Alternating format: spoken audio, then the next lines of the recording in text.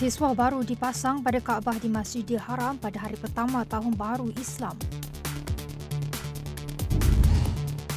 Bekas Mufti Pulau Pinang Datuk Seri Hassan Ahmad diumumkan sebagai tokoh Ma'al Hijrah peringkat kebangsaan tahun 2024. Pengarah dan pengkritik filem Tanah Air Mansur Putih meninggal dunia akibat kemalangan jalan raya di alam damai ceras. Prolintas menyifatkan tuntutan bayaran tertunggak 100 juta ringgit oleh lebih 20 subkontraktor terlibat dalam pembinaan lebuh raya bertingkat Damansara Shah Alam Dash adalah tidak berasas dari segi perundangan. Isu buli cyber di platform media sosial akan dibentangkan dalam mesyuarat Kabinet Jumaat depan bagi mencari penyelesaian terbaik termasuk aspek perundangan dan penguatkuasaan. Kementerian Pendidikan menyaring semula data pentaksiran aktiviti jasmani, sukan dan kokurikulum PAJSK pelajar lepasan SPM 2023 yang tercicir markah PAJSK.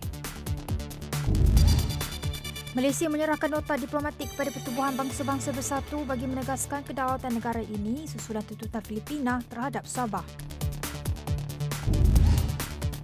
seorang bayi perempuan dan dua kanak-kanak berusia 2 dan 4 tahun maut dalam kebakaran di sebuah rumah di barat Sydney.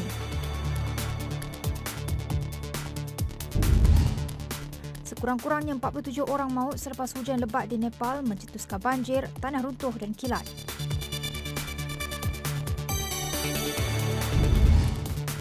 Enam orang cedera pada hari pertama acara larian lembu jantan tahun ini di Pamplona, Spanyol.